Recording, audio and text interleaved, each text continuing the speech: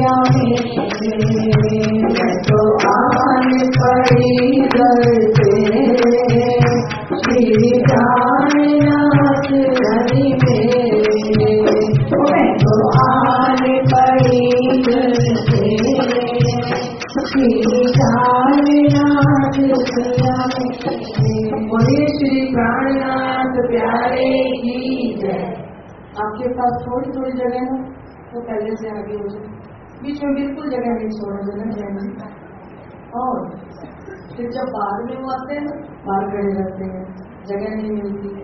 आप कीर्ति इधर आ जाए सब इधर इधर हो। जाओ आगे हो जाओ। अभी बहुत सारी जगह पीछे जगह थोड़ी सी छोड़ दो। जो बाद में आई, उसको बैठने की जगह मिल जाए आगे आगे हो जाओ। अपने आप हो जाओ। सबसे बड़ी सेवा है। धनी प्रसन्न हो जाएँगे। गाड़ी की कलियों की माफ़ी बैठ जाएँगे। वही मिलावा हाँ? आप यहाँ आके बैठा करो, सोचा करो वही मिलावे में बैठे हैं। और आज शामा जी, सुंदर पत्र बैठे बिल्कुल गाड़ी की गलियों की माफ़ी आगे आगे हो जाओ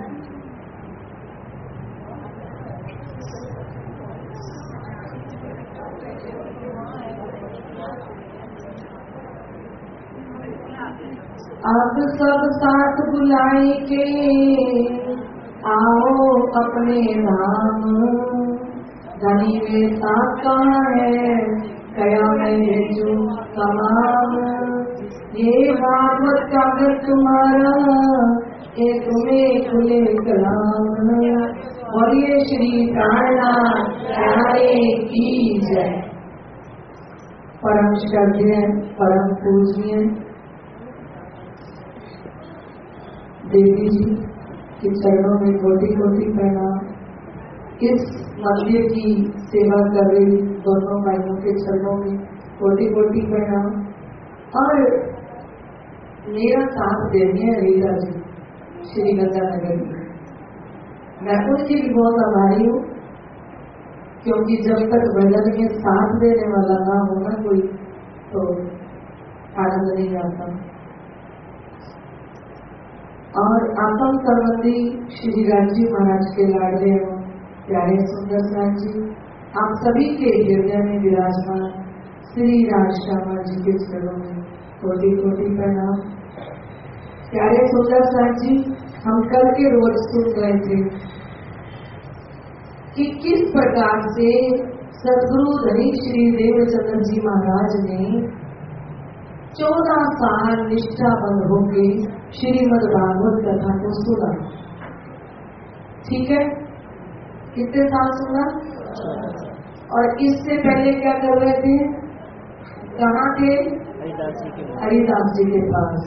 हरिदास जी के पास। क्यों गए थे? क्योंकि जो सदगुरु देवचंद्र जी के अंदर देवापी जीव बैठा है ना उसकी इक्यासी पक्ष की भक्ति तो पूरी थी। पर बयासी में और तिरासी में पक्ष की भक्ति बाकी रह गई थी। और वो बांके बिहारी और बाल मुकुंद जी की, जब उन्होंने सेवा की, जितनी बाकी रहती थी भक्ति जब पूर्ण हो गई तो तिरासी पक्ष पूरे हो गए। हर आत्मा की ये सीढ़ी है।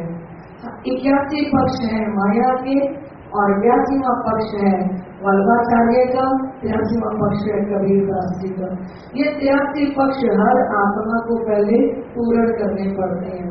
फिर पच्चीस पक्ष परम धाम की हमें उस लीला का आनंद मिलता है। हमने देखा कि धनी श्री देवचंद्र जी महाराज जब चौदह साल निष्ठाबंद हो गए श्रीमद भागवत की कथा को सुना तो श्री राज़ी महाराज आके दर्शन देते हैं। थोड़ा सा ध्यान दीजिए, जब राज़ी महाराज दर्शन देने के लिए आए हैं, चलिए हम श्याम जी के मंदिर में फिर से चलते हैं। हम सभी एकत्रित हो जाए नौतनपुरी धाम श्री श्याम जी के मंदिर में। कांची वर्तमा कथा सुना रहे हैं। और जिस समय दर्शन का समय आया, सुंदर साथ जी उस समय आसमान में तेज तेज बिजली चमकने लगी। और जैसे तेज तेज बिजली चमकती है, और अंधाधुंध बारिश होने लगी। और जब बारिश होती है, बारिश से पहले आंधी चल रही थी, बड़ी तेज। बड़ी तेज आंधी चल रही थी, बिजली चमकने लग गई, बारिश होने लग गई। और ऐसे कड़कड़ाती बिजली जब चमक रही थी तो उस समय परम धाम के साक्षात स्वरूप, केसरिया रंग की इजाद, सफ़ेद रंग का जामा, नीले पीले रंग का पटका, आसमानी रंग की पिछोड़ी ओढ़ी हुई, सिंदरिया रंग की पाँच पहने हुए और सामने श्री राज़ी महाराज खड़े हो गए। भागवत का समय रहता था नौ से बारह और पौने दस बजे आई है श्री राज़ी महाराज और पौने दस बजे से लेके बारह बजे तक श्री राज़ी महाराज सतगुरु धनी देव चंद्र जी महाराज से बातें करते हैं। हैं? ही राज़ी महाराज ने कहा था कि तुम कौन? तुम कौन? एक आई क्यों कर? कहा है तेरा वतन? ना तू कौन खत्म की? गड़गड़ कहो वचन। आज हमसे आके पूछे कोई तो तू कौन हम क्या बोलेंगे? तू कौन? हमें तो ये नहीं पता क्या परम सृष्टि है, ईश्वरी है, कि जीव है है ना? उधर आएगा प्रसंग पता है अब्दुल रसूल को बुलाया जाएगा और उससे श्री कांतनाथ जी कहेंगे, पाँच बात की पैदाइश है? तू बता दे कि तू पाँच बात की पैदाइश में से तू कौन है? और वो अब्दुल रसूल कहेगा कि अगर ब्रह्म सृष्टि कहता हूँ तो वो लक्षण नहीं है। और ईश्वरीय सृष्टि मैं हूँ नहीं मतलब मेरा ही नहीं मानता, जीव तो मैं बिल्कुल भी नहीं। तो अब्दुल रसूल वाली हमारी हालत है सब सबकी कि ब्रह्म सृष्टि के जो लक्षण है, वो हमें खुद दिखाई नहीं देते अंदर से। है? ब्रह्म सृष्टि, खिल में हंसे, खिल में रोवे, खिल में गावे गीत, खिल सुध नारायण ये ब्रह्म सृष्टि की रीत है। तो श्री राज़ी महाराज ने पूछा, तू कौन? देव जी महाराज भी कुछ नहीं बोले। इस आई क्यों कर? तब भी कुछ नहीं बोले। कहा है तेरा वतन? तब भी कुछ नहीं अपने भी ओ मान लो, ईश्वरी सृष्टि, और हम कह रहे हैं अक्षराती धाम से आए हैं, सामने राज्य खड़े हो तो राज्य महाराज कहेंगे, क्या बोली? तो खुद तो तीन ही बोले भाई मैं परम धाम से आई हूँ, कि मैं अक्षर धाम से आई हूँ, कि ना। और नार तो कौन खत्म की? किस किसकी अंगना है तुम तब तो देवचंद्र जी महाराज को जोश आ गया। कि अगर मैं अंगना आपकी नहीं होती तो मुझे आप ब्रजमंडल में घोगरी के समय क्यों लेके जाते? हैं? साक्षात दर्शन दे दिए मुझे कहाँ पे? अखंड वृंदावन में ले गए। हैं? तो क्या कहा था देवचंद्र जी ने कल? कि धनी, हम एकता ही जानत खामल हमारे तुम। हमें भी कभी राज़ी महाराज आके पूछे ना पाँच प्रश्न? एक ही उत्तर देना। कि धनी हम एक ही जानत खबर हमारे, हम कहा से आए क्यों आए ना। ये जवाब कितना सुंदर था। सदगुरु देवचंद्र जी महाराज का तो कहा, तुम एक ही जानत। चलो, आगे हम बता देते हैं। तो बता दिया कि नाम तुम्हारा भाई सुंदर। तुम खेले ब्रिजराज में। तुम्हारा नाम सुंदर भाई है। तुम पहले ब्रिज में आए थे, फिर तुम राज में आए थे। तो मनोरथ पूर्ण ना भाई ये देश का हुआ? इनसे तुम्हारे मन के मनोरथ पूर्ण नहीं हुए थे। क्या मनोरथ नहीं पूर्ण हुआ था? कोई हाथ खड़े करना, फिर बोलना।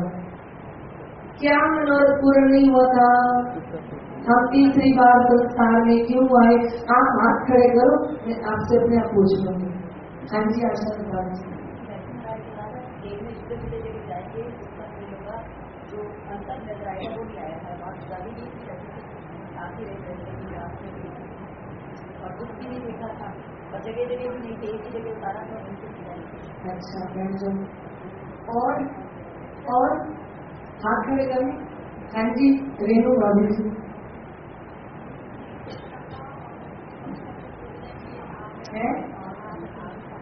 आग पानी और वो हमने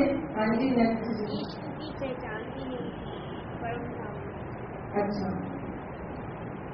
लेकिन राज़ी महाराज कह रहे कि वो तुम्हारी इच्छा पूर्ण नहीं क्या इच्छा पूर्ण हुई? हम मूल मिलावे में जगह तो क्या इच्छा पूर्ण नहीं हुई? माया का खेल देखा। खेल तो देखा ही नहीं था बस थोड़ा सा रहा मिलाप देख रहा। था जब अखंड वृंदावन में अंतर ध्यान हो। गए थोड़ा और उन्होंने कहा था, आग पानी पत्थर पूछोगे, जाओगे मुझको भूल। हाथी मीठे सुकून हट के तुमको कहेगा, रोए रोए, तुम भी सुन सुन रोए थी। पर होश में ना आवे कोई, ये भी नहीं हुआ। हाथी आए नहीं, मीठे सुकून सुनाए ही नहीं। है? और राज़ी महाराज ने क्या कहा था? वहाँ पे नफरत होगी ईर्ष्या होगी, द्वेष होगी, वो गुजरात में था ही नहीं। है तो हम जब मूल मिलावे के अंदर पहुँचे बोले नहीं कुछ भी, आराम से बैठे थे, सोचता अंदर पहुँची थी पहुँचते ही ये दिल में आ गई क्या दिल में आ गई? दुख, हम पिया को भूले थे दही ने कहा था, आप मुझको भूल जाओगे। तो ब्रिज मंडल के अंदर तो हम साथ रहे राज्य के। रात में भी साथ रहे तो हम धनी को भूले थे। तो ये उम्मीदा ना हुई पूर्ण कौन सी उम्मीद ये उम्मीद है ना? ये उम्मीद पूरी नहीं हुई थी, जिसके कारण दोबारा आना पड़ा तो सब धनी जी ने कहा कि अब सब साथ बुलाए के आओ अपने धाम। अब श्री राज़ी महाराज खड़े होकर बात कर रहे हैं। किसके साथ? सदगुरु धनी श्री देवचंद्र जी के साथ। अब यहाँ पे साक्षात श्री राज़ी महाराज तारतम मंत्र देते हैं। कौन सा स्वरूप है जो तारतम मंत्र दे रहे हैं, जिस स्वरूप में दर्शन दिए उनके वस्त्र कौन से हैं? जिसको विश्वास ना हो वो ब्रज भूषण जी की वीरता को उठाओ और जाके ये पुस्तक पढ़ो, उन्होंने पाँच वस्त्रों का वर्णन किया है। वो पीताम्बर पहन के नहीं आए हैं। वो बांके बिहारी नहीं है। दर्शन देने वाला जो स्वरूप है, वो मूल विरावे से भजनानंद स्वरूप साक्षात, क्योंकि श्यामा जी महारानी है सामने और भजनानंद स्वरूप खुद चल के आए हैं दर्शन देने के लिए। अगर उसी स्वरूप में होते तो पहचान लेते ना, लेकिन स्वरूप कौन सा आया है? परम धाम वाला स्वरूप। और परम वाले स्वरूप ने आके अपना नाम बताया।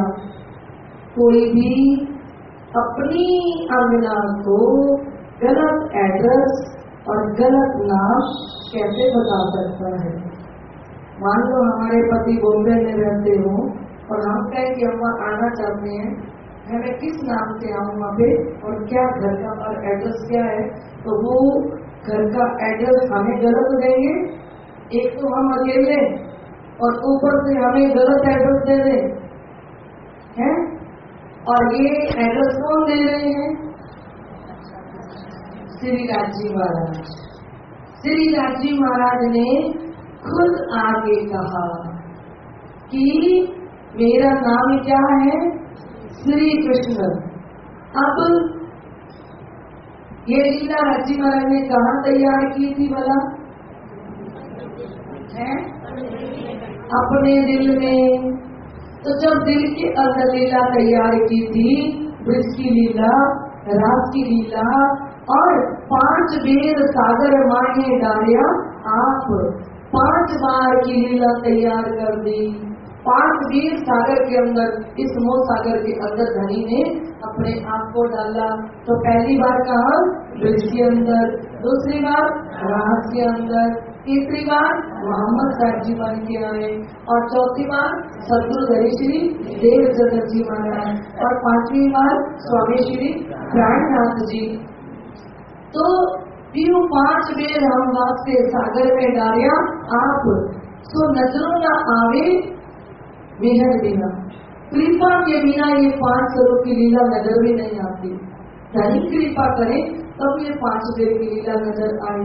अब जो श्री राजीव महाराज अपने हृदय में लीला तैयार कर रहे हैं तो उसमें ये लीला भी तो तैयार की कि सुंदर बाई खेल में जाएगी, फिर मैं जाके उसको दर्शन दूँगा। फिर मैं अपने स्वरूप का नाम, अब उन उस स्वरूप का नाम जो है, ब्रज की लीला के अंदर श्री कृष्ण है, उस स्वरूप का नाम और रास की लीला के अंदर जो स्वरूप है, उस स्वरूप का नाम हृदय के अंदर परम धाम में, नूर सागर के अंदर लीला तैयार हुई है। तो जब लीला तैयार हुई है तो ये नाम श्री राज़ी महाराज ने खुद रखे होंगे या अपने हृदय में गर्गाचार्य को बुलाया होगा। तब तो सतयुग भी नहीं बना था।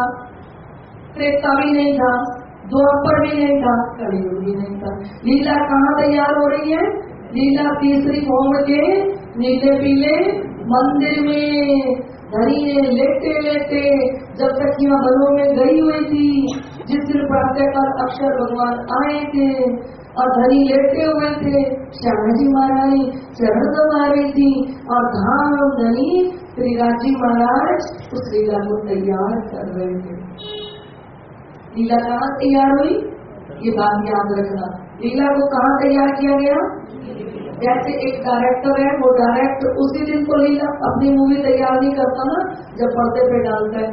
मूवी पहले कहीं और डायरेक्टर और कहीं तैयार करता है। और हम पर्दे में देखते हैं। हम श्री राज़ी महाराज के हृदय रूपी पर्दे पर इस मूवी को देख रहे हैं। पर मूवी तैयार किसने की है? श्री राज़ी महाराज ने। और इस पूरी मूवी के डायरेक्टर कौन? श्री राज़ी महाराज। एक एक सीन किसने बनाया है? श्री राज़ी महाराज ने। अब राज़ी महाराज ने यह सीन बनाया था, क्या? ये जो श्रीमद भागवत की कथा सुन रहे हैं ना श्यामा जी महारानी बोलकर साक्षात बैठी है। श्यामा जी महारानी ने झाड़ू नहीं लगाए हरिदास जी के मंदिर में। श्यामा जी महारानी ने बर्तन नहीं मांजे। श्यामा जी महारानी ने हरिदास जी के कपड़े नहीं धोए। श्यामा जी महारानी तो देवापी के जीव पर साक्षात विराजमान होंगे और दृष्टा बन के देख रही है। कहाँ से दृष्टा बन के देख रही है? और दूसरी बात ये देखिए कि मूल मिलावे के अंदर जो हमारे पर बैठे हैं सबके तो तनों को तो राज़ी महाराज ने कुछ ही नहीं। राज़ी महाराज ने नूर सागर के अंदर, अपने दिल के अंदर ये सारी सखियाँ तैयार की हैं। ये सखियाँ तो मूल मिलावे में जो कि क्यों बैठी हैं? आए गए हम कहीं नहीं। आए तो हम है नहीं। खेल भी देखा बेशक, हम खेल में आए नहीं। ये नई लीला तैयार की, जैसे अमिताभ बच्चन अपने घर में बैठा है। पर मूवी बन चुकी है। जो पर्दे पे है, वो असली वाला नहीं है। असली वाला तो अपने घर में बैठे। है है ना? श्री राजीव महाराज ने असली वाली ब्रह्म आत्माओं को तो कहा बैठा दिया? मूल मिलावे में वो बैठी है। लेकिन राजीव महाराज ने इस बार खुद अपने तन धारण किए हैं। इंद्रावती राज़ी बने हैं सुंदर भाई राज़ी बने हैं आज भाई राज़ी महाराज बने हैं। मुश्किल तो नहीं लग रहा ना, सुनना। समझ आ रही है? इस बार जो तन धारण किए हैं ना, वो राज़ी महाराज खुद तन धारण किए हैं। श्री महामत में ब्रह्म सृष्टि सो सब साहेब के तन, दुनिया करी कायम, सही भय मोहम्मद के वचन। तो ये तल किसने धारण किए? राज़ी महाराज खुद बने बारह हज़ार ब्रह्म सृष्टि कोई और नहीं बना। और श्री राज़ी महाराज ने सारी लीला तैयार कर ली। आज राज़ी महाराज दर्शन देने के लिए आए हैं और दर्शन देते हुए अपना नाम बता रहे हैं कि मेरा नाम क्या है? निज नाम, मेरा अपना नाम श्री कृष्ण जी। अनादि अब का नहीं हूँ अनादि काल से हूँ। था, हूँ और रहूँगा। अनादि, अक्षरा तीत ये पहली लाइन श्री राज़ी महाराज ने सोलह अक्षर की पहला मंत्र जो दिया। पहली लाइन, ये पहली लाइन कौन बोले स्वयं श्री, क्योंकि वो देवदत्त जी महाराज को अब भूल गए हैं, पता ही नहीं है। अब अपनी पहचान कराने आए हैं। तो अपने बारे में सब कुछ बताने आए हैं कि मेरा नाम क्या है और मेरा धाम कौन सा है? अक्षरातीत अक्षर धाम है और दूसरा अक्षरातीत धाम है। हाँ? तो अगली लाइन जो है, वो शत्रु श्री देवचंद्र जी महाराज को उतरती है। अगली लाइन राज़ी महाराज ने नहीं बोली। अगली लाइन कौन बोले? शत्रु श्री देवचंद्र जी महाराज। देवचंद्र जी महाराज ने कहा, सो तो अब ज़ाहिर भय, वो अक्षरातीत धनी, आज खेल के अंदर ज़ाहिर हो गए हैं। और अकेले नहीं आए। धनी अकेले नहीं आए। राजा कहीं जाता है, अकेला नहीं जाता। उसकी सत्ता, उसकी पावर उसके साथ जाती है। सदगुरुदेव चंद्र जी महाराज कहते हैं, सो तो वो तो अब आज तक ज़ाहिर नहीं हुए थे, इसलिए अब लगाया। आज तक धनी आए नहीं थे। जहाँ भी वाणी में अब आए ना, अब लीला हम ज़ाहिर करें। जो सुख संयम हृदय धरे, अब जहाँ पे भी आए उस अब का मतलब होता है, इससे पहले कभी भी नहीं। तो देवेंद्र जी महाराज क्या कह रहे हैं? सो तो अब ज़ाहिर भय सब विध वतन सहित, वो श्री राज़ी महाराज पूरे परम धाम सहित इस खेल के अंदर ज़ाहिर हो गए हैं। कौन आए हैं? वो अक्षरादी श्री राज़ी महाराज।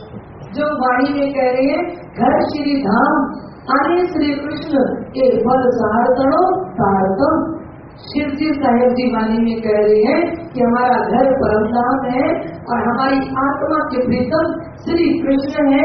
ये सारी अठारह हज़ार सात सौ अठावन तारतम वाणी का सार है। क्या सार है भाई, तारतम वाणी का?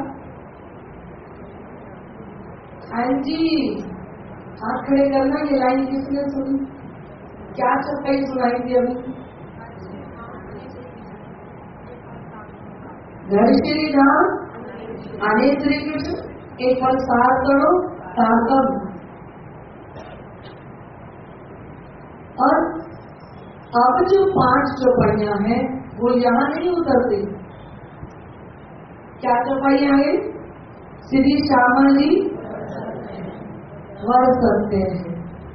श्री श्यामा जी के जो प्रीतम है, वो सत्य है। वर मैंने प्रीतम। श्री श्यामा जी, वर सत्य है। श्री श्यामा जी के प्रीतम सच्चानंद है सत्य है। और जो सत्य होगा, वो क्या देगा? सदा। आप आत्म बोलते जाना मुझे आता नहीं सदा सदा सत सुख के सदा सदा ही सच्चे सुख देने वाले हैं। तो सदा सत सुख के दाता ऐसी महाराज क्या करते हैं? जो श्यामा जी के प्रीतम है राज़ी महाराज, वो हमेशा अपने पास बैठने वाली रूह को, आत्मा को सच्चा सुख परम नाम का देते हैं। सदा आप अपने आप अलग अलग वर्ड करो। सदा सुख के सुख है, देने वाले। सदा क्या देने वाले हैं? सदा सच्चे सुखों को देने वाले आगे क्या है? विनती एक जो वल्लभा। ऐसे प्रीतम के चरणों में मेरी एक विनती है। वल्लभा, में सोता प्यारे प्यारे धनी, आपके चरणों में एक प्रार्थना है। विनती एक जो वल्लभा। ऐ मेरे प्यारे प्रीतम, आपके चरणों में एक प्रार्थना है। क्या प्रार्थना है?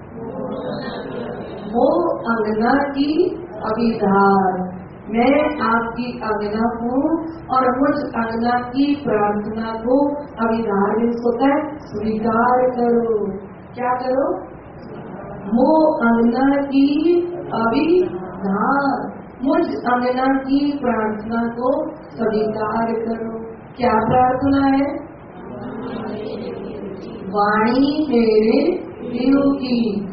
अब आप कहोगे कि सूरत के अंदर सबको रास, प्रकाश कटुर्ती और कलश, चार ही ग्रंथ अवतरित हुए थे। तो फिर शिवजी साहेब जी कौन सी वाणी को कह रहे हैं? तो बाकी अठारह हज़ार सात सौ अठावन वाणी की तरफ़ इशारा कर रही है श्री इंद्रावती जी। क्योंकि साक्षात स्वरूप श्री इंद्रावती सार्थक को अवतार। अठारह हज़ार सात सौ अठावन जो वो वाणी है, वो श्री इंद्रावती जी के अंदर है। वाणी मेरे पीयू की। न्यारी जो संसार, वो वाणी। कहाँ से न्यारी है? चौदह तबक ब्रह्मांड से अलग है। न्यारी जो संसार। कहाँ से न्यारी है? आगे बोलो। ये वाणी निराकार की नहीं है। निराकार से भी पार की है और तीन पार के। अक्षर से भी परे है। और अंग उत्कंठा उपजी। मेरे करना श्री इंद्रावती जी रामधनी जी से प्रार्थना कर रही हैं। ये पाँच चौपाई श्री पाँच महामंगलपुरी धाम सूरत में तब अवतरित होती है, जब उन्हें साक्षात गादी पर विराजमान किया जाता है। तभी पहली बार जयकारा लगता है, कि श्री प्राणनाथ प्यारे की तभी कहा जाता है, श्री प्राणनाथ निज मूलपति तो ये पाँच चौपाइया भी कहाँ अवतरित हो रही है? सूरत श्री पाँच महामंगलपुरी धाम में। तो कह रहे हैं कि प्रीतम, आपकी वाणी निराकार के तीन पार के अंग उत्कंठा उपजी अंग मेरी आत्मा में उत्कंठा में चाहना उपजी मैंने उत्पन्न हुई है। मेरी आत्मा के अंदर ये चाहत उत्पन्न हुई है। क्या? मेरे करना ए विचार ए धनी, इस वाणी पर मैं विचार करूँ। मेरे करना ए विचार ए सतवाणी मत के। ये जो अठारह हज़ार सात सौ अठावन वाणी है, इसका मैं मंथन करूँ ए सतवाणी मत के। अपने दही को मस्ते हैं तो क्या निकलता है? मक्खन। निकलता है ना? सतवानी मत के ले जो इनकी सार, मंथन करो और सार जो मक्खन निकले। फिर उसका क्या करूँ? ले जो इनकी सार। इन सार में कई सत सुख वो जो सार वस्तु है, उसके अंदर परम धाम के सारे सुख भरे पड़े। सार क्या है? कायनाथ जी ने किरंतन ग्रंथ में फरमाया सारना सासो बंद मांझो करजो के हित नमले रंग नाजो मायामा पूरा रेजो जेम आयत न आवे अंग सारना सारसो बंद बांधजो सारना सार परम धाम का सार क्या है श्री राज शर्मा जी और उनके चरण कमल ये सारी अठारह हज़ार तात्वाणी का सार क्या है? श्री राज श्यामा यह वाणी किसको दिखाना चाहती है? श्यामा जी। तो क्या क्या बोल रहे थे चौपाई हम? इन सार में कई सो मैं निर्णय करूँ। उसका मैं निर्णय करूँ, निश्चित रूप में, निर्धार। फिर एक सुख देव अब बताइए। अब हम राज्य के सामने रोज बैठ के झूठ बोलते हैं, या सच बोलते हैं। सार्थक पढ़ते हैं, सच बोलते हैं, या झूठ बोलते हैं। हमने क्या प्रार्थना करी राज्य से? कि मैं ना उस वाणी का मंथन करूँ, फिर इसका सार ग्रहण करूँ। है, सार ग्रहण करके फिर मैं ब्रह्म सृष्टि को दूँ। सुंदर सांप को दू एक धनी अगर ये सुख में सुंदर सांप को दू ना तो मैं आपकी परम नाम की आता हूँ अगर ना दूँ तो ये सुख दे अपने आप प्रार्थना करें श्री राज जी कहेंगे मैं तो बोल नहीं रहा तू ही मेरे चरणों में 108 बार बैठ के बोल रही है। ये सुख देऊ धर्म सृष्टि को तो मैं अंगना जब ये सुख अंग में आ गई, ध्यान से सुनिए, क्योंकि ये तारतम रोज पढ़ते हैं हम लोग। और अच्छे से अर्थ पता होना तो मन कहीं जाएगा ही नहीं, मन कहीं भटकेगा ही नहीं। एक एक लाइन का अर्थ करते जाइए साथ साथ में निज पढ़ते हुए, प्रार्थना करते जाइए, क्योंकि जब हम उसका अर्थ करने लग जाएँगे सार्थम का साथ साथ में तो मन कहीं नहीं जाएगा। मन को तो कुछ चाहिए ना चाहने के लिए तो मन को सार्थम के अर्थ के अंदर डुबो दीजिए बोलते हुए। खुद प्रार्थना, ये प्रार्थना हो रही है तो प्रार्थना के अंदर इतनी शक्ति है कि सच्चे दिल से की हुई प्रार्थना साक्षात राज़ी महाराज के हृदय में जा पहुँचती है। सार्थक मंत्र का अर्थ इसलिए बताया क्योंकि सार्थक का पाठ समस्त सुंदर साथ करते हैं। हो सकता है सभी को ना पता हो कि सार्थक का अर्थ क्या है और हो सकता है सबको पता हो। है क्योंकि जिसको नहीं पता, वो सुनेगा तारतम का अर्थ तो कितना आनंद आएगा कि इस तारतम को पढ़ते हुए हमारी सुरता डूबी रहे राज़ी के चरणों में। और प्रार्थना सच्चे दिल से निकलती रहे। और जो इस तरह से निजनाम का पाठ करेगा, उसका सवा तेर सूत हो जाएगा। कहते अजूत है पाऊ ना इस चाहिएगा शेर भर अभी पहिया भी नहीं खाता और कितना काट के लेके जाना है शेर। शेर तो खुद के जागने के लिए चाहिए। और सवा शेर चाहिए दूसरी आत्माओं को जगाने के लिए सवा शेर चाहिए। प्राणनाथ जी कहते अजूत है हाथ ना लगी पूरी।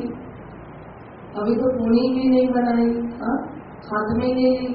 साधना ही शुरू किया। सूत वाली सुहागनी तिरशोभा पाई घनी सुनिया भी कहे धंधर और दियो मार घनी सूत वाली सुहागनी, जो सूत काट के लेके जाएगी ना, वो परम धाम के अंदर सुहागिन आत्म कहलाएगी। खेल में भी सुहागिन कहलाएगी। सूत वाली सुहागिनी त्रिशोभा पाई घनी ये सूत्र का है तातम का पाठ करके निज नाम का जाप करके, अठारह हज़ार सात सौ अठावन वाणी जो है, उसका बैठ के हम मंथन करें। तो इसको कहते हैं सूत कातला और मंथन करते करते सागर श्रृंगार में घुस जाइए, सागर श्रृंगार में घुसते हुए फिर फिर चरण को देखिए। रुको ए लागी रक्त एक चरण हृदय आए, तब खुल गए अंतरपट। हाँ? उन चरणों में डूब जाएँगे हम। जब चरणों में डूब जाएँगे तो उस समय में पता ही नहीं लगेगा कि सूत बारी करता जाना चरणों का ध्यान करते हुए पाठ करना, श्री राज़ी महाराज के वस्त्रों को सोच के भी पाठ करना। खाली वस्त्र वस्त्र आपके सामने नहीं आ रहे तो कोई बड़ी बात नहीं है। आप बार बार कहिए कि केसरिया रंग की इजार। इजार चेतन है, इजार बोलती है, इजार आपकी आवाज़ को सुनती है। इजार भी कब से आपसे बिछड़ी हुई है। आप इजार का नाम बोलोगे तो अब आप इजार तक भी पहुंचेगी केसरिया रंग की इजार इजार भी कहेगी मुझे किसने बुलाया? अभी मेरा नाम किसने लिया खेल के अंदर? इजार चल के आएगी आपके हृदय चल के आएगी। क्योंकि वो चेतन है। उनके चरणों में प्रार्थना करेंगे ना कि हम आपके वस्त्र आभूषण नहीं देख सकते। हम जड़ संसार में बैठे हैं। आप चेतन हो। तो जैसे वस्त्रों का खाली रंग ही हमारे सामने हम लाते जाएँगे। आप करके देख लीजिए चालीस दिन में अगर आपके अंदर राज़ी श्यामा जी के वस्त्र ना आ जाए। चालीस दिन कीजिए। सुबह भी कीजिए, शाम को भी कीजिए, रात को सोते हुए भी पाँचों वस्त्र राज़ी महाराज के श्यामा जी के वस्त्र इन वस्त्रों को बार बार सब अंग वस्त्र भूषण शोभा डाले। ये वस्त्र आभूषण नज़र आने लग जाते हैं। कब कब जब हम बार बार चिंतन करेंगे। राज्य कोई दूसरे? राज्य कोई अलग है?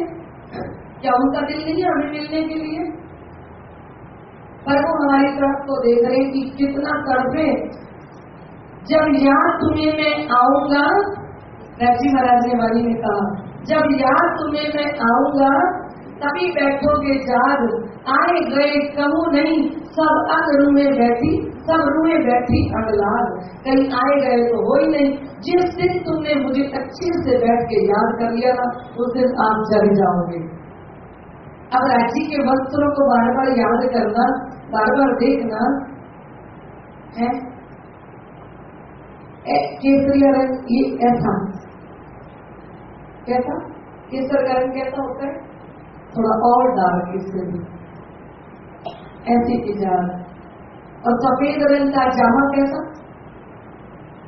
आप तो जिस जैसा बन सके जामा, सिर्फ़ आप ध्यान कीजिए कि श्री राजीव महाराज का जो जामा है ना, वो सफ़ेद रंग का जामा पहना हुआ और काड़ा अंग तक लंबा जामा पहना।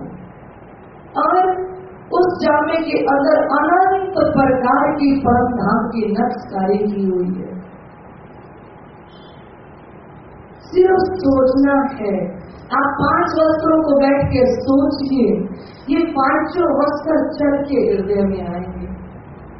राज्य की महाराज की कापी, करली, झांझरी, घुगरी, इनको सोचिए, ये सोचते ही खुद आभूषण चल के आएँगे। पर समय देना पड़ेगा। समय कैसा दे? जब कोई ना देख रहा हो सब रात को उठ के बैठ जाएँगे सब सो जाए, जल्दी आएँगे राजू जल्दी ध्यान आएगा, जल्दी चितवन आएगा। जब सब सो जाए, एक बीच में से आधा घंटा निकाल लिया। एक घंटा निकाल लिया, रात को उठ के बैठ गए। लेकिन क्योंकि दिन में सारा दिन तो समय ही नहीं और राज़ी महाराज कह रहे हैं क्या कह रहे हैं? एक सतवानी मत के ले जो इनकी सार। सार क्या है? राजश्यामा जी की शोभा श्रृंगार इन सार में कई सत्सुख इन चरण कमलों में कितने सुख भरे पड़े हैं। ये चरण कमल पाओ दर्श में खो ये चरण कमल पाऊँ दर्श में खो जाऊँ, प्राण पिया मेरे प्राण पिया प्राण पिया मेरे प्राण पिया।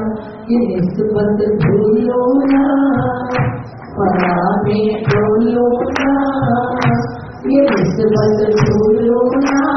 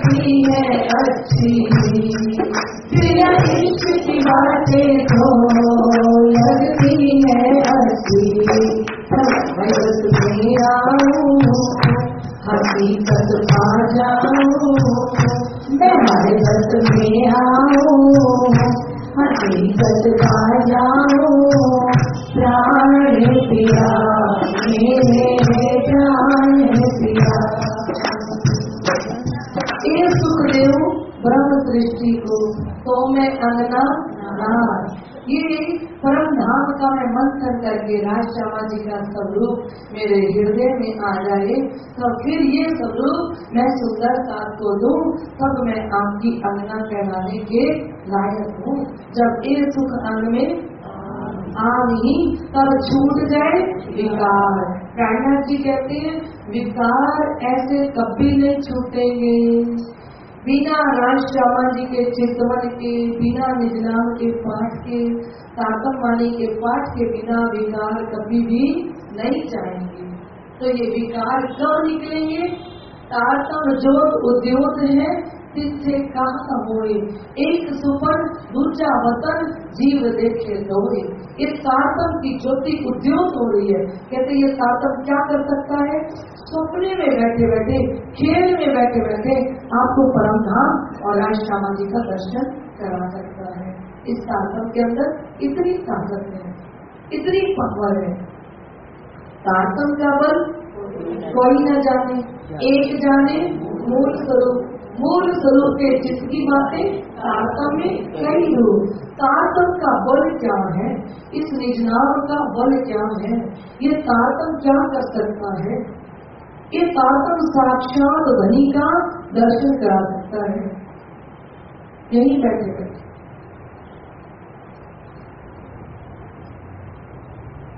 इतनी ताकत है। और जो आत्मा निरंतर निज नाम का जाप करती रहती है आप देखिए, हमें घर का काम करना है तो कोई बात नहीं करते रहे और साथ में क्या जाप करते रहे ये समझ के जाप करें कि मुझे अगर सौ साल की भी उम्र मिली है तो पचास को सीधे सोने में कट गए रातों वाले। उसको तो मुझे गिनने की ज़रूरत नहीं। बाकी कितने बचे? पचास। उसमें भी पच्चीस चले गए, पढ़ने में और बचपन, जवानी, शादी। बाकी कितने बचे? पच्चीस। और उसमें भी कहाँ चले गए वो? घर गृहस्थी को पाल। मेरे पास तो समय बहुत कम है और तेरी डोरी बांधी श्वासों श्वास एक श्वास की भी नहीं आस हमारे श्वास को निकलते जा रहे हैं। तो शिव जी कहते हैं श्वास श्वास निज नाम जपो। वृथा श्वास मत खोए ना जानो इन श्वास को। फिर हो ना हो सुंदर साथ जी धनी जी आपको बड़े लाड प्यार से समझा रहे हैं, बता रहे हैं। क्योंकि हम सभी धाम की आत्माएँ हैं। धाम की आत्माओं को लाड और प्यार से बता रहे हैं, समय बता रहे हैं कि हमारे पास वक्त ज़्यादा नहीं है, थोड़ा सा वक्त है। कहीं ऐसा न हो वक्त भी योगी गुजर जाए। कहीं ऐसा न हो वक्त भी योगी गुजर जाए। धनी के सामने होना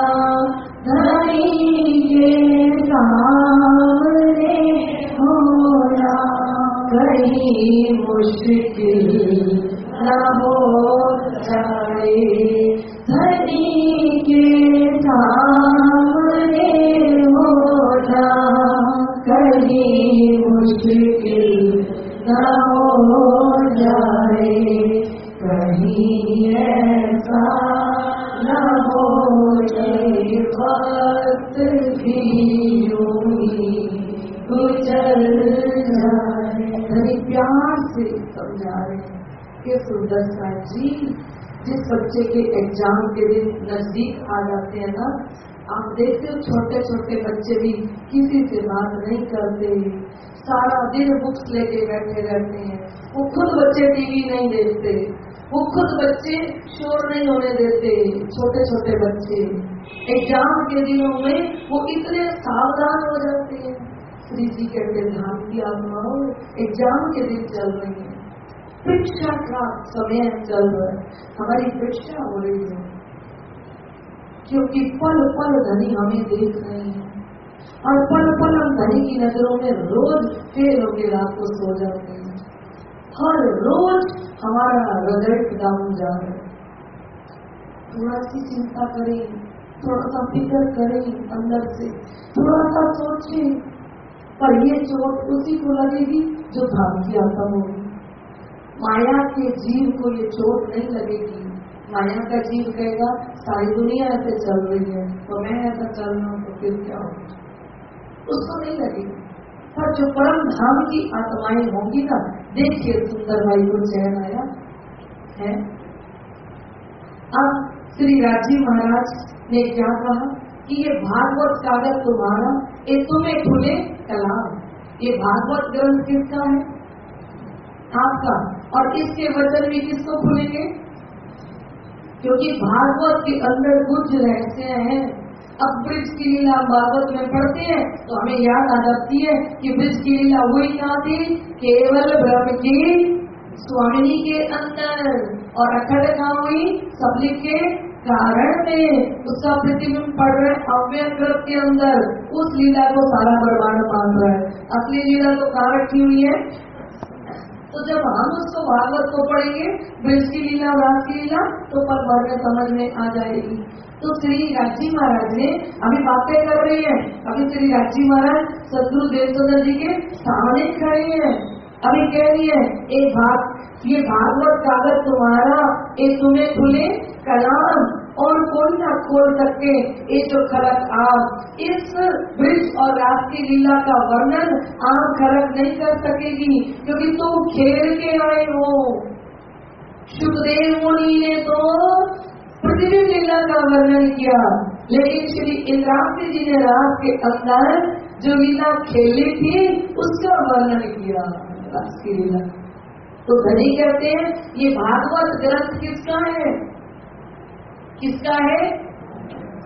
आप पढ़ोगे, हर लीला इतनी प्यारी लिखी हुई है, क्योंकि प्यारी उसको लगेगी जो आत्म वृद्ध में भी थी, जो आत्म रात में भी थी, और जो आत्म जागरी ब्रह्मांड में भी आई। अब अपनी खेली हुई लीला किसको प्यारी नहीं लगती? तो अब तुम्हारे पूछने हुए तो पूछ ले तुम।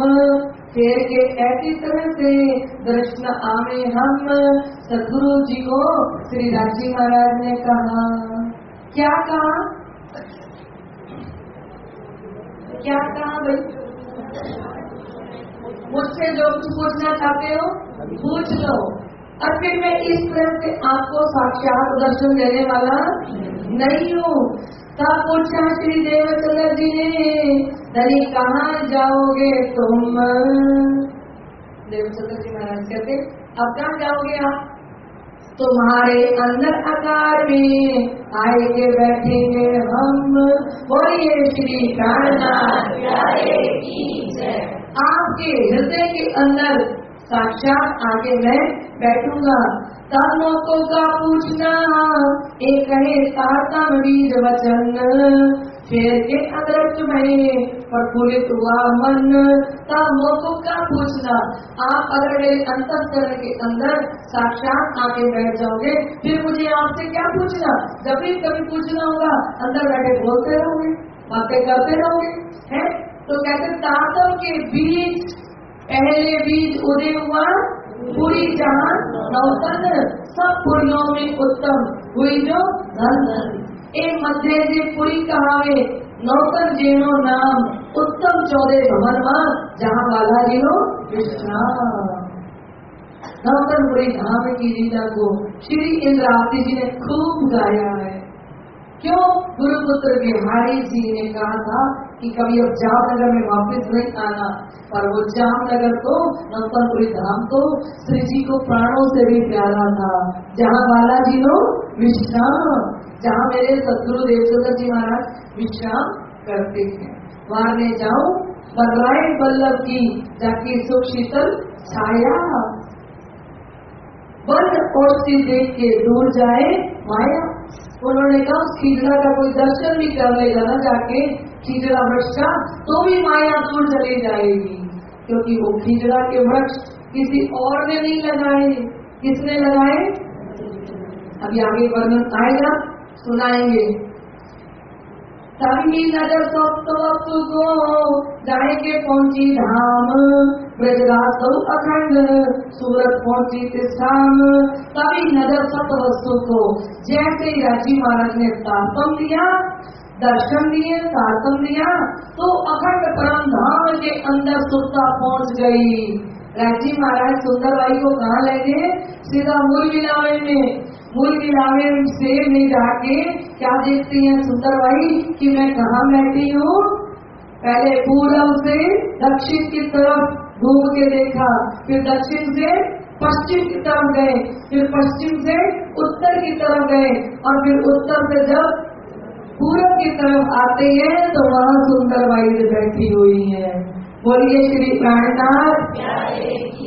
सुंदर जी ने अपने परातमल तल को देखा, और अखंड वृक्ष और अखंड रास वो सब लीला को यहीं बैठे बैठे देख लिया।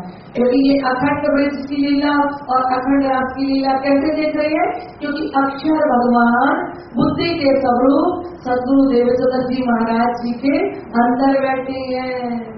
और उसके अक्षर भगवान की चित्त के अंदर क्या अखंड है? ब्रिज की लीला और बुद्धि के अंदर रास की लीला।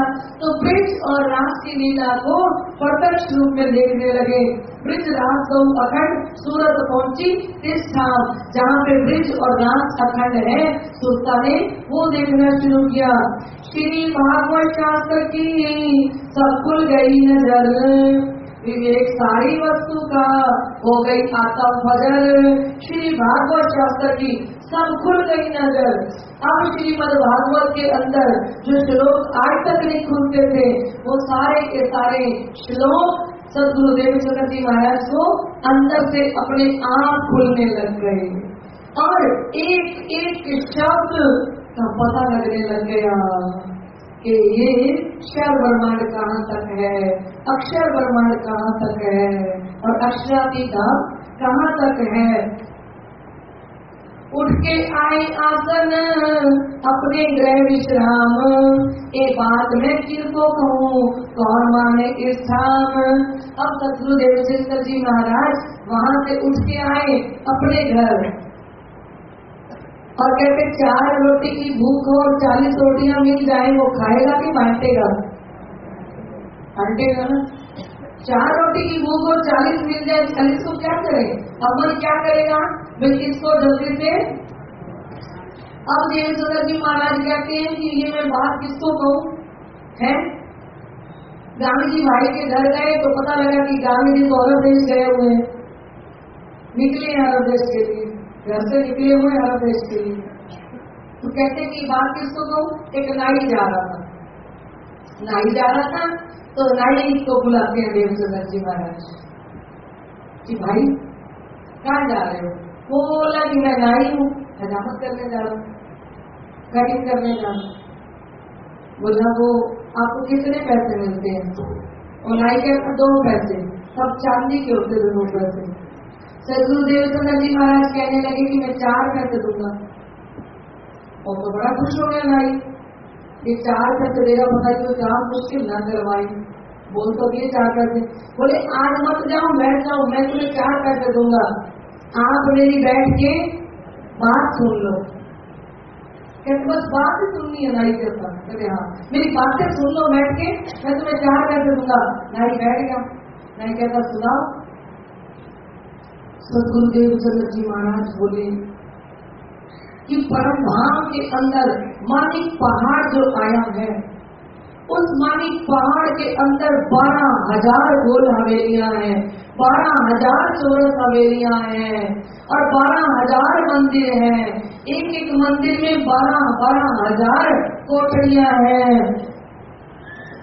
नाई ने दोनों उंगलियाँ अपने गाड़ में डाल ली कि भाई, इतने सारे झूठ मुझसे नहीं सुने जाते। बारह हज़ार भोग। यहाँ पे दो तीन मंजिल ऊपर होता है, या दस मंजिल होता है, वो दिखता नहीं। वो क्या बोल रहे हो आप? इतने बड़े बड़े झूठ मत बोलो। अपने दो पैसे ठीक है मत करते रहेंगे, दो पैसे मिलते रहेंगे। देवचंद्र जी महाराज ने कहा, यहाँ तो पैसे देने भी, कोई कथा नहीं सुन रहा। है? और राज़ी महाराज ने क्या कहा था? देवचंद्र जी ने उनको कहा था, गरीबों साथ कहाँ है? कहा मैं भेजूँगा? तमाम ये तो पैसे देके नहीं सुनता परम धाम की बात कौन सुनेगा? मैं तो पैसे भी देने को तैयार हूँ चार चांदी के सिक्के ले ले और परम धाम का वर्णन सुन ले। और उठ के चला गया, अपनी पैटी उठाई उठ के चला गया। है? तो अब इधर गांधी भाई जाके समुद्र में, समुद्री जहाज़ में जाके बैठे थे। समुद्री जहाज़ के अभी हवा नहीं चली है? जहाज़ चलने का तो रात को सपने में गांधी जी भाई के सपने में श्री कृष्ण गए। श्री कृष्ण ने कहा कि तुम अरब देश मत जाओ। आप वापस जाओ। नौकरपुरी में और जाके आप वाणी चर्चा सुनो। तो गांधी भाई को लगा कि ऐसे सपने में सपना आया है ना श्री कृष्ण जी का। सच्ची बात हो रही है। ऐसे लगा सपने में। दूसरी बार फिर श्री कृष्ण जी गए सपने में और जाके गांधी भाई को कहा कि गांधी भाई, आप मत जाओ और देश। जाके सत्संग सुनो, चर्चा सुनो, अपनी आत्मा को जागृत करो। गांधी भाई ने फिर भी उस बात को इग्नोर कर दिया कि नहीं।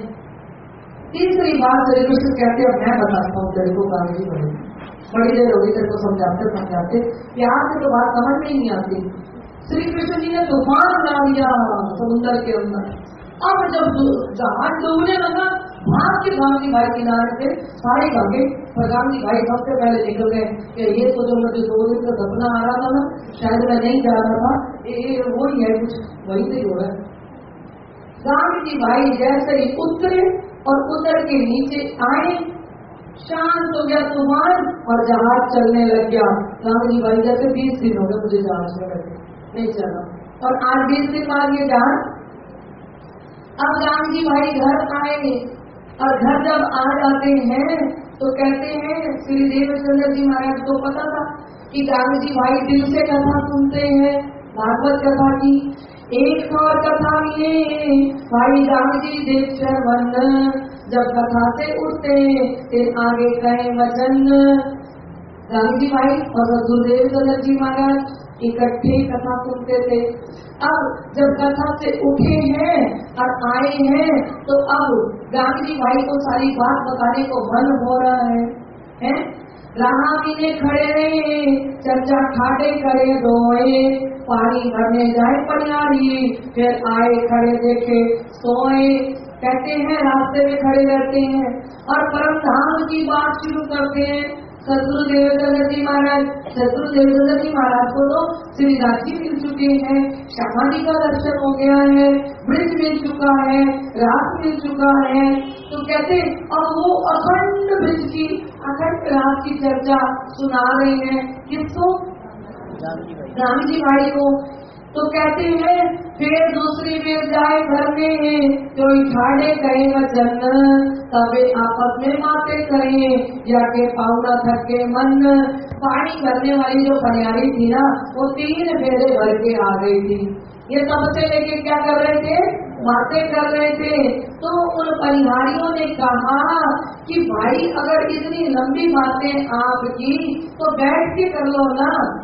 हम तीन फेरे पानी के भर के आ गए हैं। इतनी दूर कुआ है? हम जाती हैं, पानी भर के लाती हैं। देख रही हैं आप कब से खड़े हैं? तो कहते एक भाई, तुम बैठ के क्यों ना बातें करो बनाए। कब के तुम खड़े हो, हम तीन बेर फिर आए। कब के खड़े हो, बैठ के बातें करो। तब जाए शरीर की सुध आवे याद। विचार कहीं से दो, याद करे बुनियाद। तब शरीर की शुद्धि आती है। कि हमको खड़े बहुत घंटे हो गए क्या वो कह रही है कि तीन घंटे हो गए योनित करते रहे। गांधी भाई ने देखे वचन। ए बात आगाध है है अलौकिक रोशन। योनित करते रहे। गांधी भाई रोज सुन रहे और नई नई चर्चा सुन रहे ये चर्चा तो उन्होंने काफ़ी भगने सुनाई ही नहीं। और क्या सोच रहे गांधी भाई? ये तो अलौकिक बातें हैं, इस लोक की नहीं है। कहाँ की बात बता रही है? अखंड ब्रिज की और अखंड रात की बात बता रहे हैं। और यहाँ की चौदह सबक की परवाने की बात तो कांची में रोज सुनाई रहे थे। और वो सारे बातों कथा सुन रहे थे तो सारे सुन रहे थे। पर आज जो देवचंद्र जी महाराज कथा चर्चा सुना रहे हैं उनको, वो चर्चा के अंदर कुछ अलग रहस्य है, कुछ आनंद आनंद अलग है। तब गांधी भाई ने पूछा, हम तो भागवत सुनते दोए ये प्रश्न तुम कहाँ से लियावत तुम मोए बताओ सोए बोलिए श्री प्राणनाथ। गांधी भाई ने कहा कि आप और हम इकट्ठे चर्चा सुनते हैं, पर ये मैं कौन हूँ? कहाँ से आई हूँ? मेरा घर कहाँ है? मेरी आत्मा के प्रीतम कौन है? ये तो भागवत में वही लिखा हुआ सीधी सी बात है। तो ये नई नई बातें आप कहाँ से लेके आते हो? तब फिर क्या कहते हैं? गांधी भाई को जब देखिया वक्त का पूरा पात्र। तब कछु चले बताते सतबोए रजमात्र। शिव जी कहते हैं, जब तक सामने वाला पात्र ना होगा, तब तक उसको ब्रह्म की बात नहीं सुनानी चाहिए। और एक बात और कहते जब तक सामने वाले की इच्छा ना होना तब तक किसी के आगे चर्चा शुरू नहीं करनी चाहिए। चर्चा का अपमान होता है। और कभी भी ज़बरदस्ती किसी को चर्चा नहीं सुनानी चाहिए। उसमें भी गुनाह रहता है। उसमें भी पाप रहता है। सामने वाला थोड़ा पात्र हो, उसके अंदर इच्छा हो, है? तब उसको सुनाया जाए। सदगुरुदेव सदर जी महाराज ने क्या देखा? क्या देखा? कि ये पात्र है। पात्र है इसलिए अब बात बतानी शुरू करते हैं। इस खुशबुएँ से भये ज़ोर जिज्ञासु जब तब कछु आगे चले भी तक बताई तब जब ज़ोर जिज्ञासु मतलब इतनी जिज्ञासा जग जाए कि वो खुद कहे कि मुझे सुनना है। ज़बरदस्ती नहीं फेंकना चाहिए किसी को, ब्रह्म ज्ञान। ब्रह्म ज्ञान देते हुए पहले देखना चाहिए कि उसके अंदर जिज्ञासा है या नहीं। या हम ज़बरदस्ती ठोके जा रहे हैं जा रहे हैं। देवचंद्र जी ने देखा कि वो खुशबू, किन खुशबुएँ से भरे, थोड़ी ब्रिज की और रास की और परम धाम की खुशबू दी। सदगुरु देवचंद्र जी महाराज ने वो खुशबू देते गए तो गांधी भाई के अंदर जिज्ञासा और बढ़ गई और गांधी भाई के दिल में आया कि अब तो मैं मुझे ये सारी बात बताए। पूरी की कोई बात बताए। तब तक तू आगे चले, भीतर बताई, तब कहते फिर आगे चल के थोड़ी अपने भीतर बताने लगे सारी की सारी अब गांधी भाई पूछते हैं फिर जन्म से लेके आए नए नगर सारो सारी भी तक कह चले था ऊपर। फिर जन्म से लेके, गांधी भाई ने कहा, देखो देवचंद्र जी महाराज मुझे आप अपने शुरू से बात बताइए कि आपके अंदर ये ब्रह्म ज्ञान कैसे प्रकट हुआ है? आपको राज जी के दर्शन कैसे हुए हैं?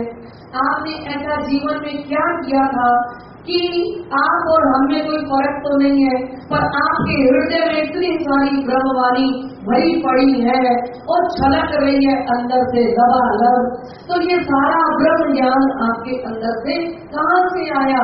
मुझे थोड़ा शुरू से बताइए।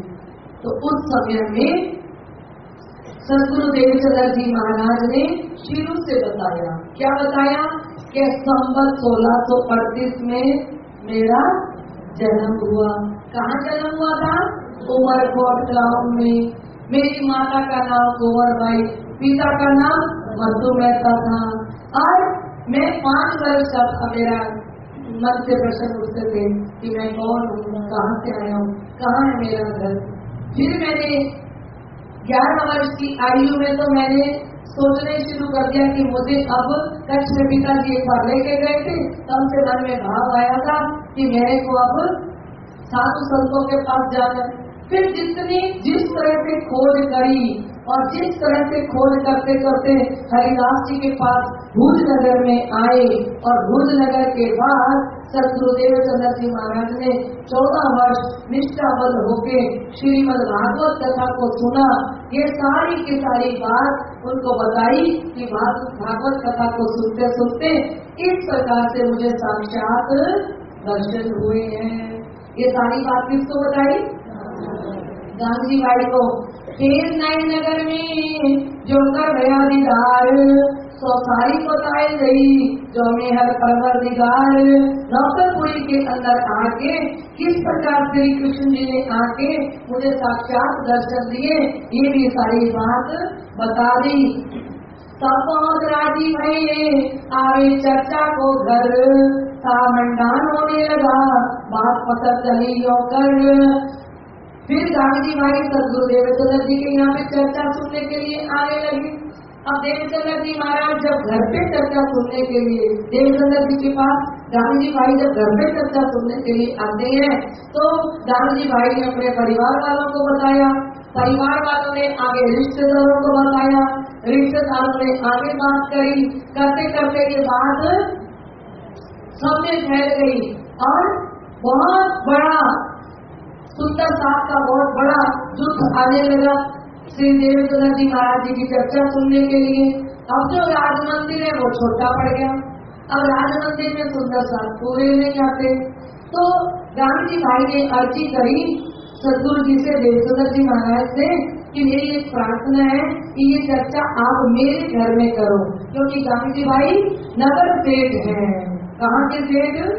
पूरे नौतलपुरी के अंदर एक ही नाट स्टेट है गांधी भाई। और वो गांधी भाई ने प्रार्थना करी कि सतगुरु जी, मेरी इच्छा है कि आप हमारे यहाँ पे आके वाणी चर्चा करें। सतगुरु देव चंद्र जी महाराज ने बात तो मान लिया। अपने दर्शन किए चाकला मंदिर के। किस किस ने चाकला मंदिर के दर्शन किए हुए? हैं हाथ खड़े करना। थोड़ा ऊँचे पता लगे। चाकला मंदिर किस किस ने देखा हुआ है? डॉक्टर नौकरपुरी धाम पे राज मंदिर भी देखा है चाकला मंदिर भी देखा है। तो चाकला मंदिर में सदगुरु देव चंद्र जी चाकला मंदिर क्या था? गांधी भाई का घर है। वहाँ बैठ के अब चर्चा करने लगे हैं। और वहाँ बैठ के जब चर्चा करते हैं, अब बहुत सारा सुंदर सा चर्चा सुनने के लिए आने लगा। और वहाँ पे अखंड ब्रिज की और अखंड राज की चर्चा सुनाते हैं, आड़ी का लीला होने लगी। है? आड़ी का लीला हो रही है। एक दिन सदगुरु देवेंद्र जी महाराज अखंड, क्योंकि ब्रिज की लीला करते हैं तो जैसे ब्रिज का वर्णन करते हैं तो आवाज़ आने लग जाती है। मथने की दही को मथने की आवाज़ आती है। और दीवार पर छिड़ते भी पड़ जाते हैं। दही के, छाछ के, वहाँ छिट्टे भी पड़ते हैं।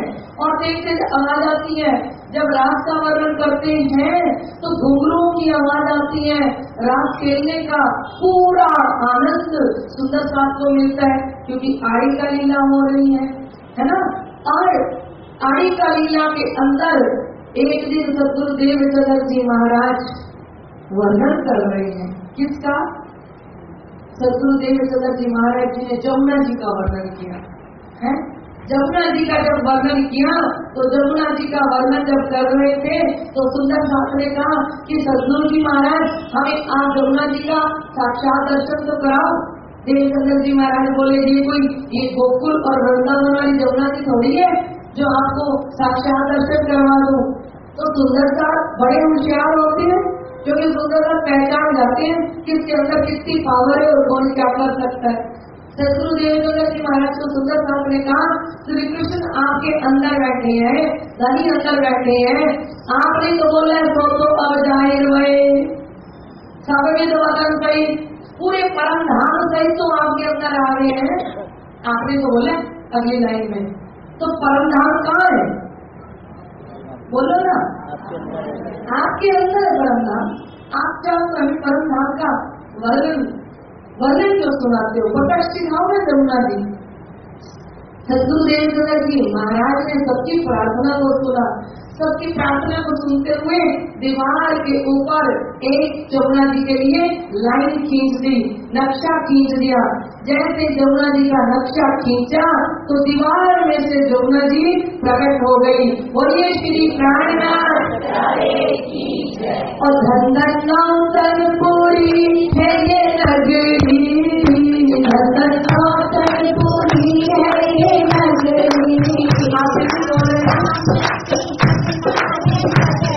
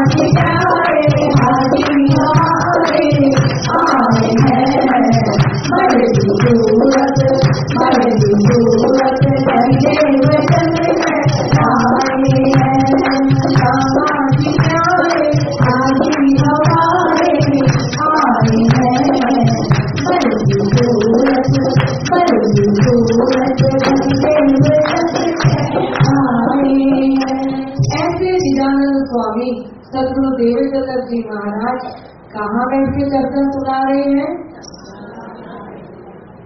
शाकला मंदिर। में शाकला मंदिर क्या है? गांधी जी भाई का घर है। और कहते उस घर के अंदर चर्चा जब सुना रहे हैं तो उस समय में क्या होता है? किसी चुगल खोर ने जाके राजा के आगे चुगली कर दी। एक बात समझ लेना। जहाँ पे परम धाम की वाणी चर्चा होगी, जहाँ पे धनी की मेहर बरसेगी, वहाँ पे दज्जाल ज़रूर आएगा। और दज्जाल आए तो घबराना नहीं चाहिए। तो कहते हैं सदगुरु देवचंद्र जी महाराज वाणी चर्चा कर रहे हैं।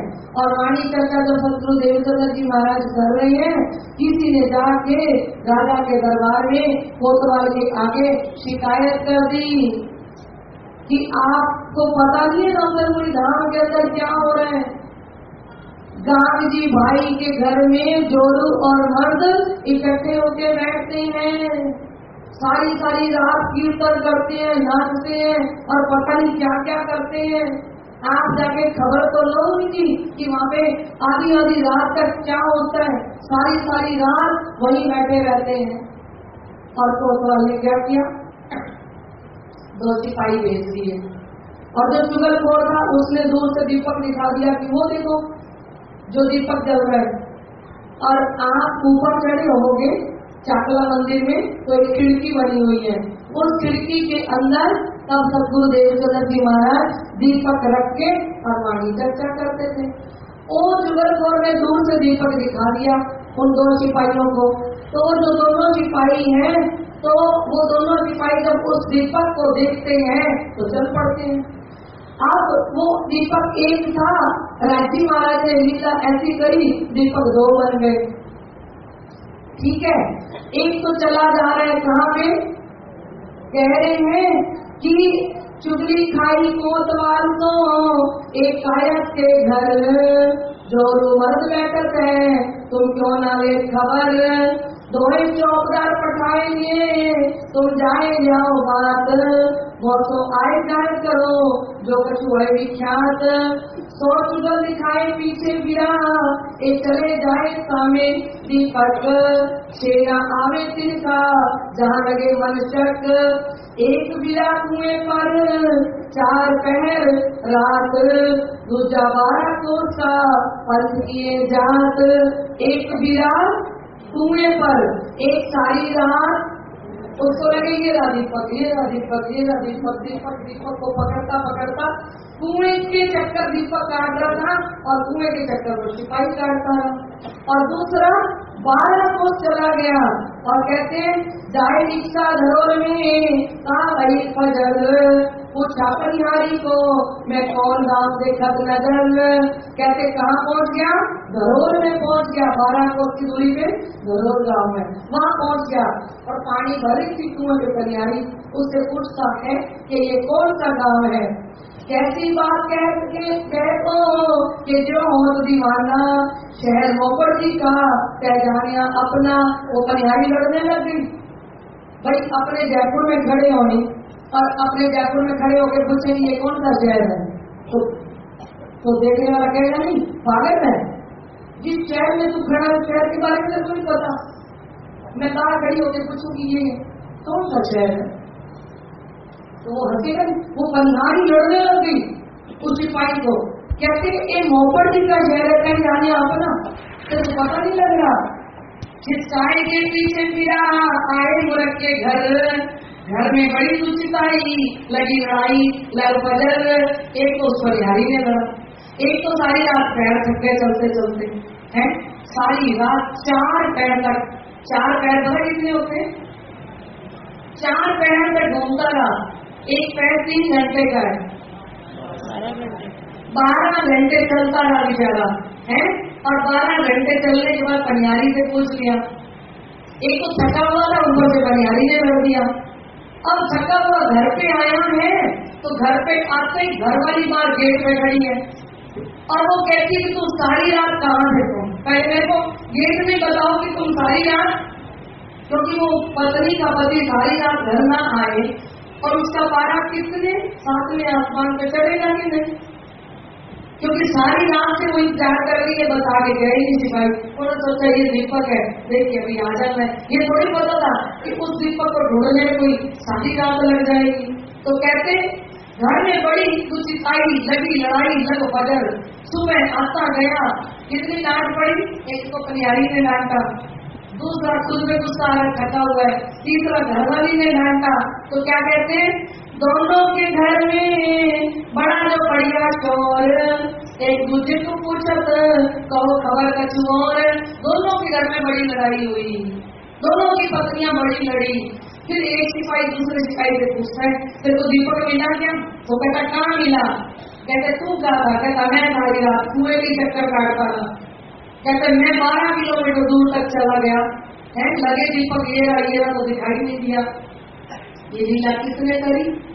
ये लीला हमारे आशिक श्री राज़ी महाराज ने आड़ी का लीला करी। किसके लिए की? अगर सदगुरु देवचंद्र जी महाराज और सुंदर साथ बैठे हैं और राज दरबार में ये बात चली जाए तो सबको राजा क्या करेगा? कोतवाल क्या करेगा? राज़ी महाराज खुद आ गए, खुद आके खड़े हो गए और दीपक एक के बदले दो बना दिए। फजर को आएँगे। दोनों कैदी तक इन चुगले हमको मारिया। लिया दिल में शक श्री प्राणनाथ। घर में दोनों जने वापिस आए और कहते, चुगल छोड़ गए तो हमें मार डाला। है? शक तो इसको हुई थी और सारे धक्के हमें खाने पड़े दोनों को। है? आगे कोतवाल के यहाँ बातें करीबन आए। जो चुगल हमको मिले तो गर्दन ताए कोतवाल के पास आके कहा करिए चुगल को हमें मिल जाए ना? गर्दन उतार के दोनों सिपाही जी हम दुखी हुए हमको इस चुगल ने मार डालते आज ज़्यादा ऐसी बताई सूझेगा कोई काज। इस चुगल बोले तो हमें मार डालना था। ऐसी जगह बता दी जहाँ कुछ था ही नहीं। इन भाग के मार्जे और लाखों दिए निशान। प्रसाद कोई न समझे कछु न हुई पहचान। कहते, इस प्रकार से लाखों निशान दे रहे हैं। कौन? श्री राज़ी महाराज परम धाम की लीला कर रहे हैं। अब इधर क्या होता है? इधर ये बात राजा को पता लगी, क्योंकि कोतवाल ने ये बात राजा को बताई कि कोई चुगलखोर आया था। उसने आके चुगली करी। मैंने दो सिपाही भेजे। और दो सिपाही भेजे राजा साहब तो वो दीपक यहाँ पास में दिखा के गया था कि ये दीपक है। और वो दीपक एक दिखा के गया था। और वो दीपक रात को दो बन गए। कोतवाल किसको बात बता रहे राजा को दो बन गए। तो दो दीपक बन गए। तो दो सिपाहियों को भेजा, एक सिपाही तो बारह कोस तक चला गया और दूसरा सारी रात चक्कर काटता रहा। तो राजा ने कहा कि ये तो बहुत बड़ी गलती हो गई हम लोगों से। गांधी जी भाई के यहाँ पे आए हुए सदगुरु। और वो उन्होंने ये लीला करी होगी, वो सदगुरु कितनी शक्ति रखते होंगे। तो अब राजा ने गांधी जी भाई को अपने यहाँ बुलाया। राजा ये बात बताता है। किसको? क्योंकि गांधी भाई को सतगुरुदेव सुंदर जी को पता ही किसने चुगली करी है, कौन सिपाही हुई है, कौन चक्कर काट हैं, उनको क्या पता? क्योंकि दीपक बाहर चल रहा था किसी ने शिकायत करी शिकायत करी तो बाहर से बाहर चले गए। राजा कहता है गांधी जी भाई, आपके घर में जो सतगुरु आए हुए हैं ना, वो साधारण नहीं उस साक्षात पूर्ण ब्रह्म परमात्मा है। गांधी भाई ने कहा? आपने तो चर्चा नहीं सुनी। आपको कैसे पता लगा? कहते, गांधी भाई, पहले तो मैं आपसे हाथ जोड़ के क्षमा माँगता हूँ और आपके सदगुरु के चरणों में मेरी दंडवत प्रणाम करके उनसे क्षमा मांगना। हमसे एक गुस्ताखी एक गलती हो गई। क्या गलती हुई? हमें किसी चुगल खोर में आके चुगली करी। और हमारे कोर्ट वाले दो सिपाही भेज दिए। जो हमारे सिपाहियों की सारी रात हालत हुई है। और उनने आके ये किस्सा बताया है। गांधी जी भाई से राजा जब क्षमा माँगता है तो गांधी जी भाई बड़े खुश हो गए। कि मेरे सदगुरु के बारे में तो आज पता लग गया है। किसको? यहाँ के राजा को भी पता लग गया। कि मेरे सदगुरु महाराज जी निजानंद स्वामी क्या शक्ति रखते हैं? क्या पावर रखते हैं? अब और हौसले बुलंद हो गए गांधी जी भाई के। गांधी जी भाई ने आके बड़ी खुशी से ये बात किसको बताई? सर गुरुदेव चंद्र जी महाराज को बताई। पूरी कहानी सुनाई। कि ऐसे ऐसे सिपाहियों को भेजा, किसी ने चुगली करी, फिर ऐसे ऐसे सिपाहियों को भेजा और वो सिपाही एक तो दरोल गाँव में पहुँच गया। एक सारी रात मुँह पे चक्कर काटता रहा, है, और राजा ने आपके चरणों में माफ़ी मांगी है और कहा है, आगे से इस प्रकार का कोई भी शिकायत का मौका हम आपको नहीं देंगे। ये पहली बार हमारे से ऐसा हुआ है। अब सदगुरुदेव चंद्र जी महाराज आज चाकला मंदिर में चर्चा करके राम जी भाई को पास बिठा के कहते हैं राम जी भाई, आज से मैं चाकला मंदिर में चर्चा नहीं करूँगा। अब पूछा राम जी भाई ने, मुझसे क्या गलती होगी राम जी भाई ने कहा, घर मंदिर बन सकता है, लेकिन तीरथ नहीं बन सकता। हम जब किसी घर में बैठ के ये चर्चा करते हैं तो ऐसी अलग प्रकार की बातें बनेगी और मैं एक पूरी की स्थापना करना चाहता हूँ। और मैं कहीं बाहर जाके बड़ी जगह पे वाणी चर्चा करूँगा और मैं घर में चर्चा नहीं करूँगा। विभूषण जी लिखते हैं कि सतगुरु देवचंद्र जी के चरणों में गिर के गांधी भाई गुरदास करते हैं। गिर के कि ऐसे सतगुरु मेरे घर आके अखंड वृत्त दिखा रहे हैं। अखंड रात दिखा रहे हैं, अखंड जमुना जी परम धाम की दिखा रहे हैं, और ये सदगुरु आज कहें कि मैं जा रहा हूँ। आपके घर से मैं आपके घर में चर्चा नहीं करूँगा। चरणों में गिर गिर के की भाई अर्जी करते हैं, कहते नहीं, मुझे बाहर जाना फिर गांधी जी भाई प्रार्थना करते हैं सदगुरु देवेंद्र जी के चरणों में। बाहर ही कहीं बड़ी जगह पे चर्चा करना चाहते हो तो मेरा एक बगीचा है। बहुत बड़ा बगीचा है। अगर आप मेरे घर में चर्चा नहीं करना चाहते तो बहुत बड़ा बगीचा है। आइए, मैं आपको उस बगीचे में लेके चलता हूँ। सदगुरु देवचंद्र जी महाराज को गांधी जी भाई अपने बगीचे में लेके गए। और जैसे ही सदगुरु देवचंद्र जी महाराज जी के चरण कमल उस बगीचे में पड़े, वो बगीचा भी खिल उठा। वो धरती भी गदगद हो गई कि आ गया वो समा। मेरे ऊपर तो पूरी की स्थापना होने वाली है। वो धरती भी गदगद हो गई और सदगुरु देवचंद्र जी महाराज का हृदय गदगद हो गया। सदगुरु देवचंद्र जी महाराज ने वहाँ पे एक खींचड़ा का वृक्ष देखा। और खीजड़ा का वृक्ष जब देखते हैं तो सदगुरु देवचंद्र जी महाराज ने उस टहनी को तोड़ा, एक दातुन तोड़ा। और दातुन तोड़ के देवचंद्र जी महाराज दातुन करने लगे। घूमते हुए बगीचे को देखते हुए वो खीजड़े का दातन करने लगे। दातन करके सदगुरु देवचंद्र जी महाराज ने उसको बीच में से दो फाड़ कर दिया। जब दातुन करते तो आगे से वो घिस जाता है उसको पकड़ा देवचंद्र जी महाराज ने और दो ऐसे कर दिया। करके और वहीं पे ज़मीन के अंदर थोड़ी मिट्टी खोद के और देव देवचंद्र जी महाराज ने वो दातुन गाड़ दिया। वो दातुन जो गाड़ा तो थोड़े समय में हरा भरा खींचड़ा का वृक्ष वहाँ प्रकट होने लगा। बोलिए श्री प्राणनाथ प्यारे की, श्री पाँच नौतनपुरी राम की जय, निजानंद स्वामी की जय। और खिजड़ा का वृक्ष तो थोड़े टाइम में इतना सुंदर रूप धारण करता जा रहा है, जिसके लिए श्री जी ने वाणी में प्रकरण रखा, वाले जाऊँ बन रहेगी। जाके सुख शीतल छाया। सुंदर साथ जी हमें नौतनपुरी धाम ज़रूर जाना चाहिए।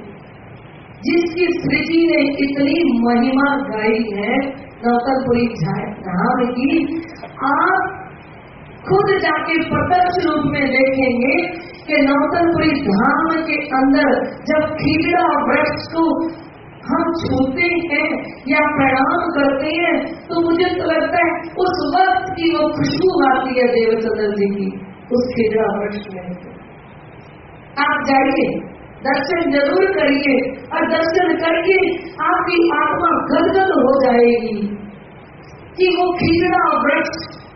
हम तो बड़े भाग्यशाली थे, हम पिछली बार गए पिछले साल तो पुजारी जी ने कहा कि आज ना खींचना वृक्ष की फलियाँ तोड़ी है बच्चों ने तो उन फलियों की सब्ज़ी बनाई है। शायद जी आपको सब्ज़ी खाओगे खींचना वृक्ष की फलियों की? मेरे को तो रोना ही आ गया कि जिस खिचड़ा वृक्ष की महिमा हर साल भीतर के अंदर गाती हूँ बैठ बैठ के, आज उस खिचड़ा वर्ष की फलियों की सब्ज़ी और खाने को मिल रही है, इससे बड़ा भाग्य क्या होगा?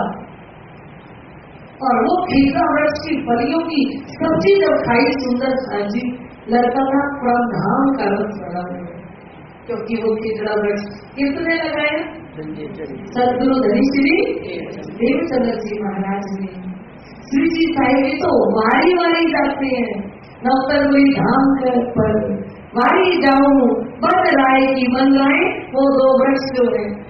जाके सुख शीतल छाया शिव जी ने कहा उन वृक्षों के पास जाके बैठ के देख लो, तुम्हें सुख मिलेगा, तुम्हारी आत्मा को शीतलता मिलेगी। वो कितनी ठंडी रस भरी आनंद भरी छाया है उन वृक्षों की। वन औषधि देख के, ऐसे वन की जो औषधि अगर तुम्हें मिल जाए, देख के दूर जाए माया। कहते माया के पर्दे हटते हैं नौतरपुरी धाम का दर्शन करके। माया के पर्दे दूर हो जाएँगे, ऐसे नौतरपुरी धाम के वो दो वृक्ष।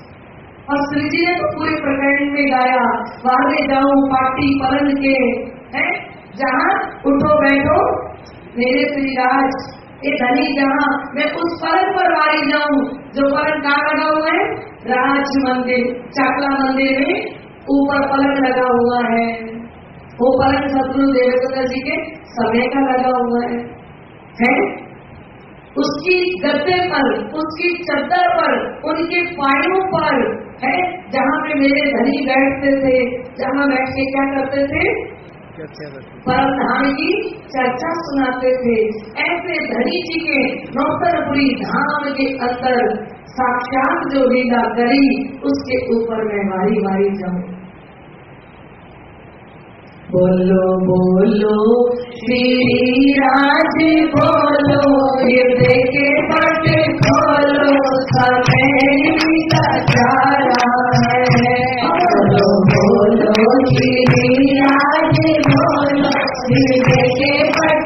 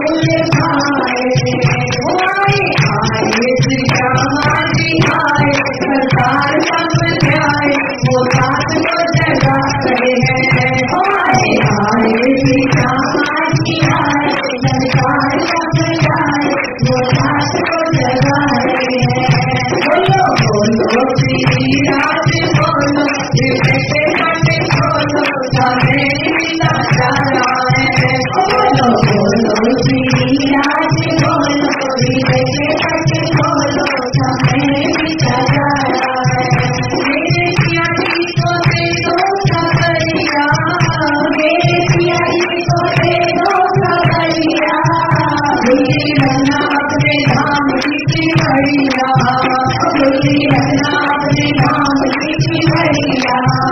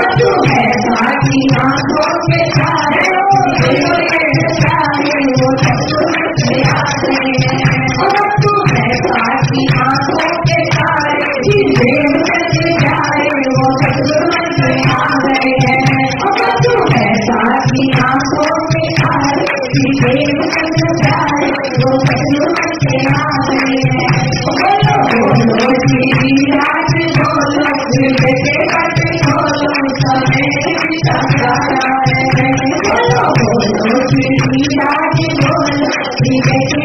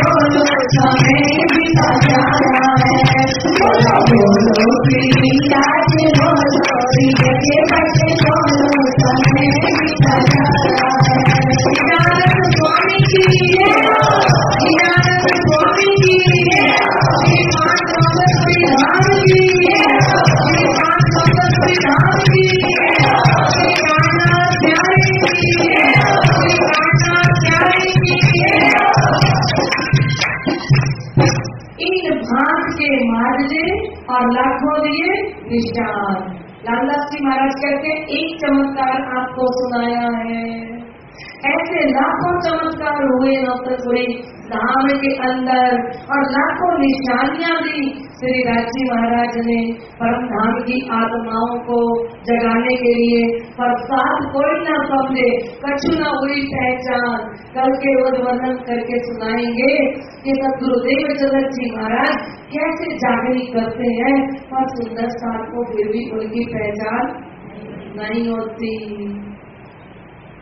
कल के रोज हम देखेंगे कि कैसे स्वामी श्री प्राणनाथ जी इस संसार के अंदर प्रकट होते हैं, क्या लीला होती है, अभी कभी मिलके चौपाई दोहराएँगे। बोलिए श्री प्राणनाथ प्यारे की जय। निजानंद स्वामी की जय।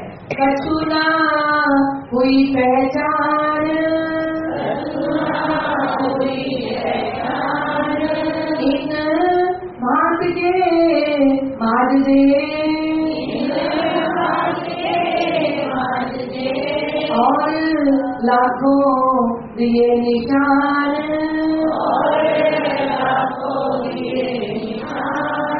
पर साथ कोई ना समझे।